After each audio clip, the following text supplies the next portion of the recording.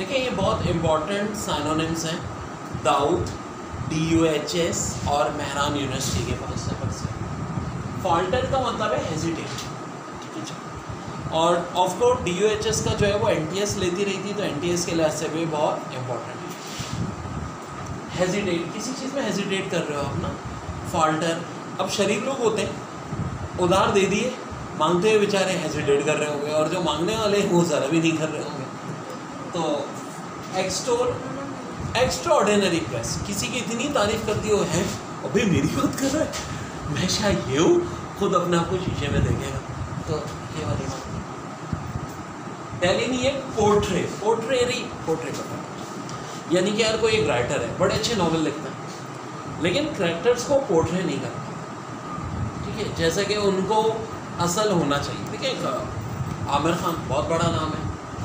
बड़ी अच्छी अच्छी कामयाब मूवीज़ गई। लेकिन जब मंगल पांडे उन्होंने मूवी बनाई तो बावजूद इसके तीन साल मेहनत की तो वो पोर्ट्रे नहीं होगा ठीक है, जिस हिसाब से होनी चाहिए।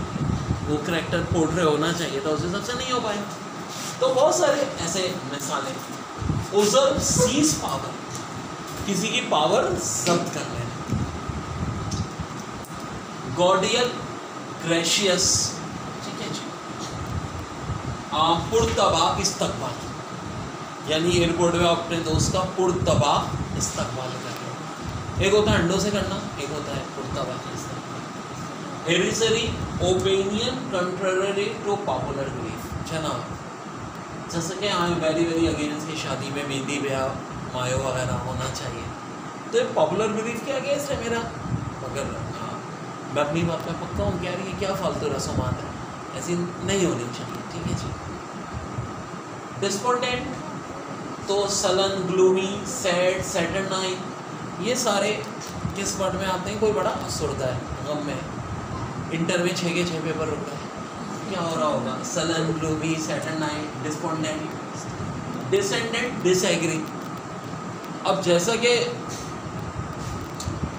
पीएमडीसी की पॉलिसी आई थी तो सिंध गवर्नमेंट डिसएग्री थी उससे, कि भाई फेडरल बेस पे सिंध के स्टूडेंट का टेस्ट नहीं होना चाहिए। तो डिसेंट, एक बार रिपीट कर रहा हूँ, falter hesitate extol praised delineate, portray, usurp, seize power cordial gracious archery opinion contrary to popular belief despondent sullen gloomy saturnine dissent disagree कल इंशाल्लाह साढ़े छः से आठ मैथ्स का लाइव सेशन करने का बिल्कुल इरादा है।